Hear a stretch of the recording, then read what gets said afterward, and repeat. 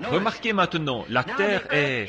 Eh bien, si vous prenez le livre de l'Apocalypse, vous pouvez voir comment il l'a mesuré en coudées et en stades. 2300. Donc là, on voit que la, la ville forme un carré de 1500 000 de côté. Vous savez jusqu'où ça irait? J'ai mesuré ça cette semaine. Ça irait du Maine jusqu'en Floride et de la côte maritime est jusque 600 000 plus loin à l'ouest du Mississippi. Autrement dit, la moitié des États-Unis juste pour la ville. Vous dites, il n'y a pas de place. Une fois la mer partie, il y en aura, puisqu'elle est à peu près aux 4 cinquièmes recouverte d'eau. Pas vrai?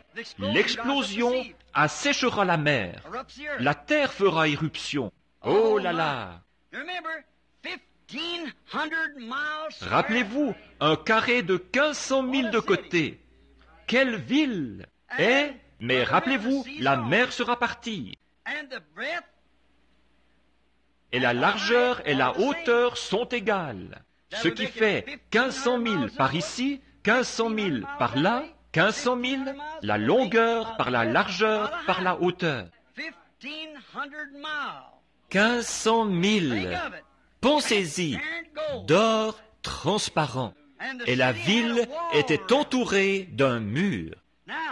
Maintenant, maintenant, ça ne veut pas forcément dire que parce qu'elles sont égales, il est dit, et les murailles et le fondement étaient égaux.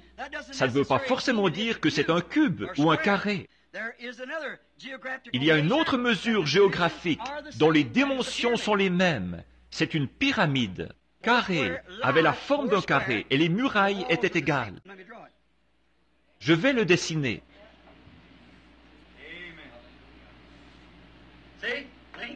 Vous voyez? La longueur, la largeur, la hauteur. On va arriver à quelque chose aussi sûr que 2 et 2 font 4. Voyez? Remarquez, les dimensions de cet angle-ci sont exactement les mêmes, toutes. La longueur par la largeur par la hauteur. Il y a une autre mesure, la pyramide, qui démontre ça. Ceci, puisque c'est comme ça, ça correspondrait exactement au signe d'Enoch en Égypte, la pyramide, n'est-ce pas? Enoch, avant la destruction antédiluvienne, quand la justification allait venir, il a produit un signe. Et dans cette pyramide, il y a sept marches qui mènent à la chambre du roi. Remarquez bien, sur la septième marche, si jamais vous avez étudié les dimensions de la pyramide, ce qui s'avance pour prendre celui qui arrive et l'introduire auprès du roi. Remarquez bien à qui appartient le poste qui se trouve là, et vous verrez dans quel jour vous vivez, dans la pyramide. Maintenant, Dieu a fait trois Bibles. Maintenant, il y a un enseignement sur la pyramide qui n'a aucun sens, mais il existe une pyramide authentique. Voyez, remarquez. Maintenant, Dieu, la première Bible, il en a fait trois. Il faut que tout soit en trois. Jésus vient trois fois. Il est venu une fois pour racheter son épouse, la fois d'après pour prendre son épouse, la fois d'après avec son épouse. Voyez? Maintenant, remarquez comme c'est beau. Voyez? Et dans cette pyramide, il y avait sept marches. Et après, la chambre du roi. Et nous sommes dans le septième âge de l'Église, avant que le roi s'installe sur son trône. Et rappelez-vous, la pyramide n'a jamais eu de pierre de fête au sommet. La première Bible de Dieu était dans le ciel, le zodiaque. Il commence et il parcourt tous les âges. En premier, au début du zodiaque, il y a une vierge. Voilà comment il est venu, en premier. Le dernier signe de zodiaque, c'est le signe du lion, la seconde venue. Juste avant, il y a les poissons croisés, ce qui est l'âge du cancer, dans lequel nous vivons maintenant. Il y avait une pyramide après ça, Enoch, qui témoignait exactement. On n'aurait pas le temps d'examiner ça. Mais un jour, avec l'aide de Dieu, je vous montrerai. Ça dessine exactement la dimension de l'heure dans laquelle nous vivons. Voyez Remarquez, mais cette mesure géographique qu'on a là, qui a les mêmes dimensions, ça ne veut pas forcément dire que ça doit être un, un cube.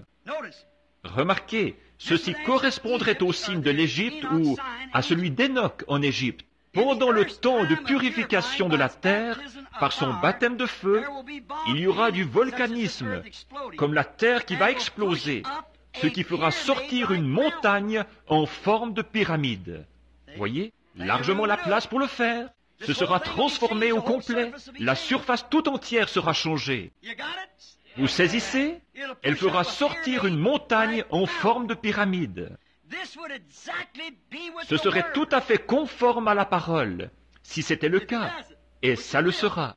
Maintenant, remarquez en effet, dans Ésaïe 65, 25, où nous venons de lire, il a dit, il ne se fera ni tort ni dommage sur toute ma montagne sainte, dit l'Éternel. Oh, toute ma montagne sainte. Souvenez-vous, c'est toujours une montagne. Si les murs étaient tout droits, verticaux, on pourrait seulement voir la ville de l'extérieur ou de l'intérieur. On ne pourrait voir le trône que de l'intérieur. Mais remarquez, on ne le verrait que de l'intérieur. Mais maintenant, nous voyons la promesse d'Ésaïe 4, 5. On va le lire. Êtes-vous pressé? Non, ne soyez pas pressé maintenant. On, en est à, quelque chose de, particulier maintenant, dans un, temps trop, important, qu'il faut que vous compreniez ici. C'est que je veux rendre ça clair. Et ensuite, quand on y reviendra, je vais, je vais vous montrer. Alors, de quoi on parle? Ce que c'est dans la prochaine étude qu'on fera là-dessus, une autre fois. Oh, gloire au Seigneur Jésus. Regardez bien ici comment les paroles ne peuvent pas faillir. Maintenant, regardez bien ici dans Ésaïe. Je l'ai en note ici, si j'arrive à le retrouver. Un instant. Ésaïe 4, 5. Maintenant écoutez, il parle de la venue du Seigneur. Comment les femmes seraient tellement immorales. Oh, il a dit, sept femmes. Écoutez, on va le lire. Regardez, là. Et sept femmes saisiront en ce jour un seul homme et diront, nous mangerons notre pain, nous nous vêtirons de nos habits, fais-nous seulement porter ton nom, enlève notre opprobre. C'est le temps de la fin, là où nous vivons maintenant. Le mariage, le divorce la prostitution, et quoi encore En ce temps-là, le germe de l'Éternel aura de la magnificence et de la gloire. Le fruit du pays aura de l'éclat et de la beauté. Les réchappés d'Israël. Comment vous avez échappé à toute la damnation, voyez?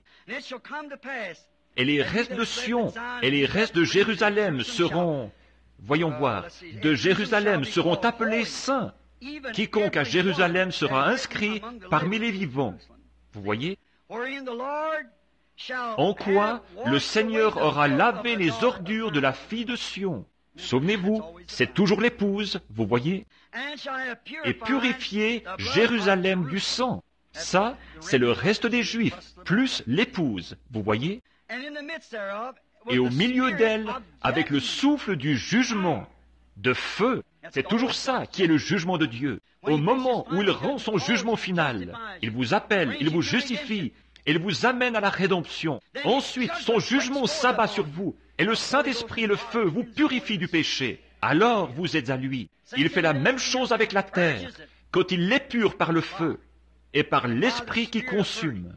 Maintenant, regardez, écoutez, êtes-vous prêts l'Éternel établira sur toute l'étendue de la montagne de Sion et sur son lieu d'assemblée une nuée fumante pendant le jour et un feu de flamme pendant la nuit, car tout ce qui est glorieux sera mis à couvert.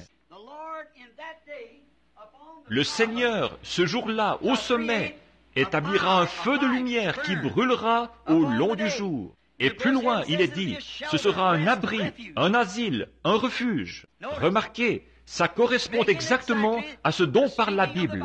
Exactement. Si les murs étaient tout droits, verticaux, on ne pourrait pas la voir. Il faut que ce soit en pente. Toute ma montagne sainte. Il établira cette lumière sur cette montagne et elle sera mise à couvert. Oh, on chante ce cantique. Oh, cette ville sur la montagne de Sion. Pèlerin, pourtant je l'aime. Maintenant, et à travers ces âges, quand j'atteindrai cette ville sur la colline. Voyez? Remarquez, c'est sur le sommet du mont Sinaï que Dieu est descendu. Quand il a parlé à Israël dans une colonne de feu, il est descendu sur le sommet d'une montagne, le mont Sinaï sur la montagne de la transfiguration, quand il a déclaré, Celui-ci est mon fils bien-aimé, écoutez-le. Il est descendu dans une colonne de lumière et dans une clarté éclatante sur le sommet de la montagne, devant Pierre, Jacques et Jean. Et là, il était représenté avec Moïse et Élie, les deux. celui qui avait été enlevé et celui qui était ressuscité après sa mort. Gloire, la nouvelle ville et la nouvelle terre, la nouvelle création, la ville sur la colline, avec le trône au sommet, le trône ici en haut au sommet, et les habitants répartis sur les flancs sur cette montagne. Et la muraille qui entoure ça, elle avait douze fondements. Et chacun d'eux avait la pierre du pectoral qui était en Aaron, ce qui représentait les douze tribus d'Israël. Et dans les portes, ils avaient quatre portes placées exactement comme le temple dans le désert, comme la tente qui était dans le désert. Remarquez, chacune avait, les apôtres, trois de chaque côté, douze apôtres. Chaque, elle avait 144 coudées de haut. 144 coudées, c'est exactement 216 pieds. Ce qui fait que chacune de ces grandes pierres avait près de 20 pieds de haut. Le pectoral dans cette porte, qui constituait cette muraille qui entourait la ville. Maintenant, elle, la ville, ne repose pas sur le sommet de la muraille, parce qu'une ville de 1500 000 ne pourrait pas faire ça. C'est par la muraille ici que vous entrez, comme les portes de l'ancienne Jérusalem. On entrait à l'intérieur en traversant la muraille.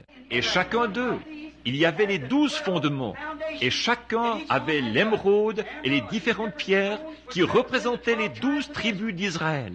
Et les apôtres, chacun, au-dessus de cette grande porte d'une seule perle massive, il y avait le nom d'un apôtre. Et Jésus n'a-t-il pas dit, vous serez assis sur douze trônes pour juger les douze tribus d'Israël? Qui était assis à la porte pour juger quand on entrait dans la ville? Oh là là Voilà les rois de la terre qui entreront dans la ville se présenteront devant le juge apostolique, comme Jésus l'a promis. Oh là là. Sur ce trône, au sommet, à 1500 000 de haut, le monde entier verra la lumière du monde. Jésus, assis sur le trône, au sommet du monde, au sommet de l'Église, au sommet de la montagne de Sion, qui a 1500 000, la moitié de la taille des États-Unis, et qui s'élève tellement haut qu'on peut le voir du monde entier, à 1500 000 de haut. Et là, tout le long des flancs, il y aura les rachetés. Il y aura les maisons d'or pur, il y aura des avenues et des parcs et des jardins, et le fleuve de la vie qui sort, qui coule du trône et qui ruisselle à travers ses gorges, et oh, sur ses terrasses. Et l'arbre de vie fleurira dans chaque cour, et il portera ses fruits douze fois par an, un nouveau fruit chaque mois. Et les rois de la terre y entreront pour apporter leur honneur. Et les feuilles servent à la guérison des nations, quand les rois vivront dans la paix là-bas. Quand ils sortiront, ils cueilleront un arbre, une feuille comme ça, comme la colombe qui était revenue quand la colère de Dieu était apaisée et qui avait apporté la feuille de houx dans l'arche. Alors, quand le roi s'en ira, en ayant apporté sa gloire dans la chambre de l'épouse, ici dans la ville, il tendra une feuille au roi voisin et nous sommes en paix pour toujours. Amen. La guérison des nations. Tout est réglé. Autrefois, nous avons combattu pour le sang les uns des autres, frères. Et nous avons aimé et crié et fusillé et brûlé des enfants, tout. Mais maintenant il y a la paix, la guérison. Pas la guérison des maladies, c'est complètement terminé. La guérison des nations. Amen. La ville avec le trône au sommet. Apocalypse 21, 23. Et n'ont pas besoin de lumière, car l'agneau et le Seigneur Dieu en est la lumière. Voyez, le Seigneur Dieu est cette colonne de feu qui a suivi les enfants d'Israël à travers le désert. Et il est monté sur le trône, dans ce royaume parfait, quand le temps, le royaume que Jésus va remettre au Père, afin que Dieu soit tout et en tous. Jésus est assis sur son trône ici, comme notre Joseph. Et le roi est cette lumière qui sera au sommet de la montagne de Sion, et sa lumière sainte envahira la ville tout entière. Alléluia 1500 000 de haut et 1500 000 sur 1500 avec les paradis de Dieu construits partout dans cette ville. Des rues, des avenues. Lisez votre Apocalypse 21. Voyez si ce n'est pas vrai. Voyez Ils n'ont besoin d'aucune lumière là, car l'agneau est la lumière.